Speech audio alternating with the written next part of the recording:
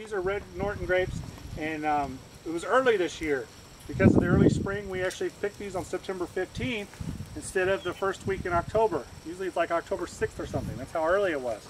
So these yellow tubs behind you were our bins that we pick into, and then we dump them into the blue, the bigger blue bins, and we would move the big blue ones down to the winery for processing.